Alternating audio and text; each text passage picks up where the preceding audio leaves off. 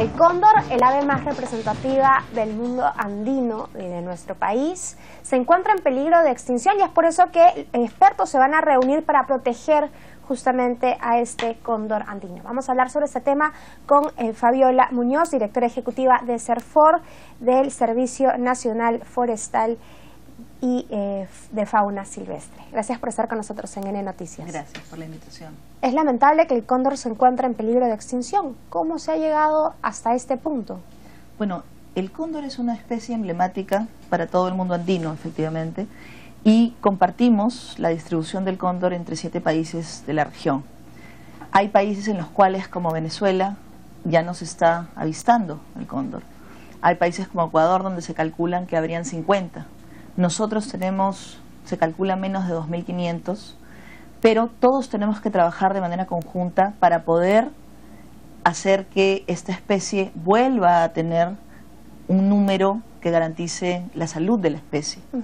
Y eso implica trabajar mucho en educación ambiental, trabajar mucho en conservación de hábitat y también en eh, desterrar algunas prácticas que amenazan al cóndor. ¿Cuántas especies deberían existir al menos en nuestro país? Usted ha dicho 2.500 actualmente. ¿Cuánto hemos tenido antes? Bueno, se calcula que las poblaciones de cóndor han sido mucho mayores anteriormente. Probablemente podríamos estar hablando de más de 10.000, pero no sabemos y ese es uno de los puntos principales en los que estamos trabajando de la mano con los otros países, que es para ver cuáles son las metodologías que se han estado utilizando en otros países que nosotros podríamos utilizar ahora para hacer un censo de cóndores. Esa es una herramienta muy importante. Hoy en día la gran reforma que el Ministerio de Agricultura y Riego a través del ministro Benítez está impulsando es tener información científica para tomar decisiones de política pública. Ese es un tema fundamental y ahí la información es crítica. Entonces, una de las cosas en las que estamos trabajando a través de este taller es ver y tratar de definir cuál es la metodología que Perú va a utilizar para hacer el censo de cóndores. Nos estabas comentando sobre malas prácticas que hay eh, hacia esta ave. Por ejemplo, ¿cuáles son? Por ejemplo, uno de los problemas principales que tenemos es la creencia de que el cóndor es una especie que se lleva las crías de los animales, ¿no? Para alimentarse. Eso es falso. O sea, el, cóndor, por la propia disposición de sus garras, de sus patas, no tiene la posibilidad de cargar una vaca, por ejemplo, ¿no?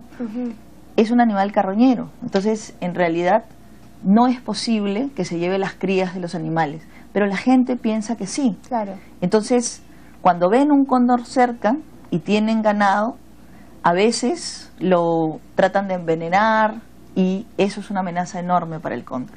Otro de los problemas que tenemos es, por ejemplo, el yaguar fiesta.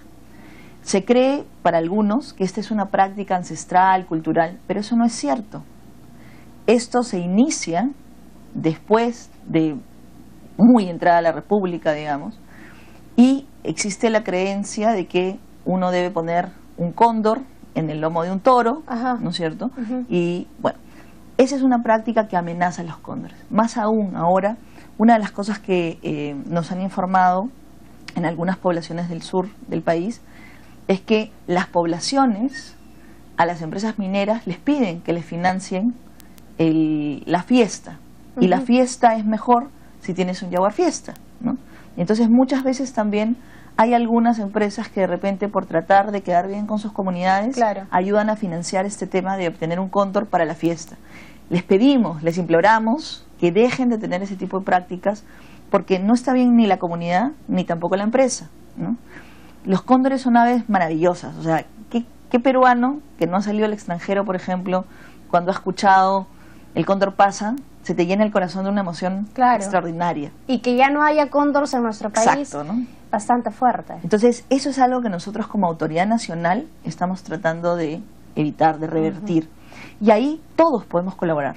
Todos y todas, todos los ciudadanos. Por ejemplo, cuando la gente va al Colca, ¿no? A ver cóndores, esa es una forma también de ayudar a la conservación. Porque todas las, todas las autoridades en esa zona, por ejemplo, ahora están preocupados de cómo hacer para manejar el hábitat, para conservar ese hábitat, para poder permitir que esa especie se vuelva, ¿no es cierto?, una especie que uno siempre pueda ver.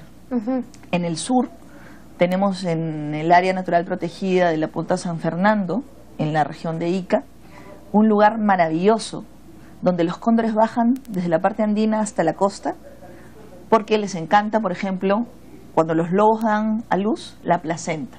¿No? Y uno tiene, yo he tenido el privilegio de ver cóndores volar ¿En dónde, ahí. ¿En ¿no? dónde es esto?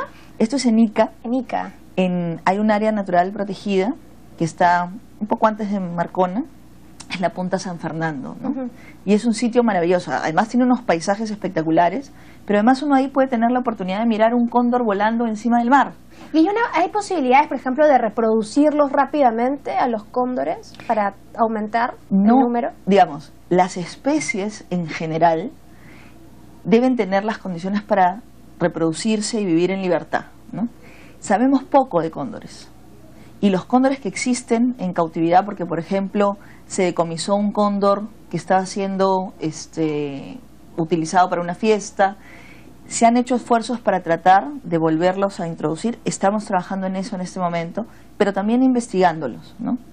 Y no, no es, digamos, posible que nosotros podamos decir, oye, sacamos dos cóndores, los reproducimos y después... Ajá. Esas no son prácticas, digamos, que deberían ser las adecuadas, ¿no? Ajá. Lo que sí tenemos que hacer es proteger su hábitat natural. Un cóndor puede volar 300 kilómetros en un día, 400 kilómetros en un Increíble. día buscando alimento, ¿no? Bueno. Eh, por eso es tan importante ese taller regional, ¿no? Para la conservación del cóndor andino y esperamos tener más noticias de, de qué se llegó al final Sí. de- para las soluciones Sí, de la nosotros estamos muy contentos porque Perú está haciendo sede en este momento de este evento, de este taller regional, donde tenemos a los mejores expertos de todos estos países. Tenemos gente de Ecuador, de Colombia. Además, les agradecemos enormemente tomarse el tiempo de venir aquí, discutir. Y como ellos dicen, ¿no? son condoreros, emocionados, apasionados. Y eso es parte de lo que la Autoridad Nacional Forestal y de Fauna Silvestre, el CERFOR, del Ministerio de Agricultura, está tratando de promover también. ¿no? Bien, muchas gracias por haber venido a la noticia. Gracias también. Ya no hay tiempo para más. Eh, nos acompañó Carla Tello, lo vamos a dejar ahora con tiempo de